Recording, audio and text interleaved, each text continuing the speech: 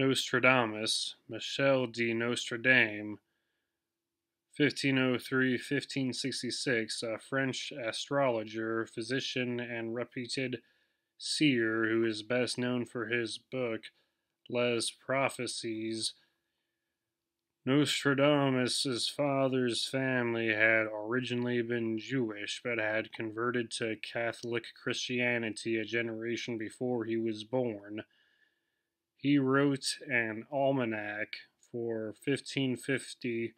and as a result of its success continued writing them for future years as he began working as an astrologer. The prophecies Nostradamus compiled his collection of major long term predictions. The first installment was published in 1555 and contain, contained 353 quatrains. The third edition, with 300 new quatrains, was reportedly printed in 1558 but now survi- survives as only part of the omnibus edition that was published after his death in 1568 this version contains one unrhymed and 941 rhymed quatrains, grouped into nine sets of a hundred and one of fortitude called centuries. No two editions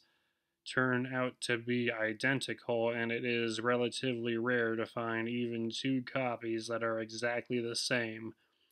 Certainly, there is no warrant for assuming, as would be code breakers are prone to do, that either the spellings or the punctuation of any edition are Nostradamus's originals. Nostradamus claimed to base his published predictions on judicial astrology, the astrological judgment or assessment of the quality and potential of events such as births, weddings, coronations, etc., but was heavily criticized by professional astrologers of the day for incompetence and for assuming that the comparative horoscope, the comparison of future planetary configurations with those accompanying known past events, could actually predict what would happen in the future. Research suggests that much of the prophetic work paraphrases collections of ancient end of the world prophecies, mainly Bible based, supplemented with references to historical events and anthologies of omen reports, and uh, projects those into the future in part with aid of comparative horoscopes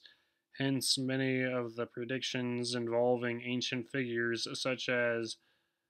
Gaius Marius, Nero, and others,